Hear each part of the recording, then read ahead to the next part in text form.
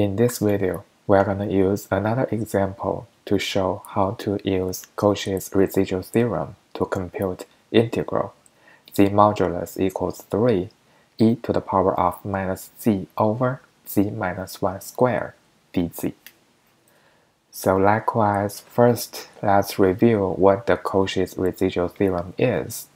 If there is the complex number b sub 1, which is the coefficient of 1 over z minus z naught in the expansion form, then we can say the complex number b sub 1 is the residual of the function f at the isolated singular point z naught. And we can also use this residual to obtain the value of the integral fz dz, which is 2 pi i times the residual. In our question, we know the isolated singular point is z naught equals 1. And we know this point is within the range. z modulus equals 3. We know that is a circle with the center at the origin. So that point is within the range.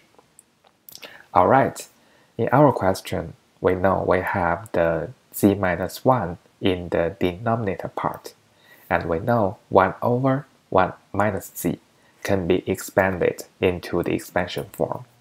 So first, let's do something with the equation. So we have fz equals e to the power of minus z over z minus 1 squared. And let's make a little change into minus e to the power of minus z over z minus 1 times 1 over 1 minus z. So we can use the expansion form, which becomes minus e to the power of minus z over z minus 1 times sum n starts from 0 to infinite z to the power of n.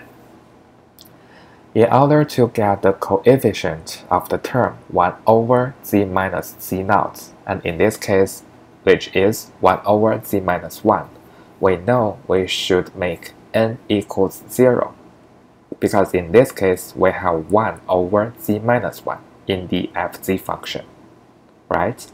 So in this case, the corresponding residual is when z naught equals 1 at the isolated singular point, and the residual is minus e to the power of minus 1 times 1 to the power of 0 and therefore the residual is minus 1 over e.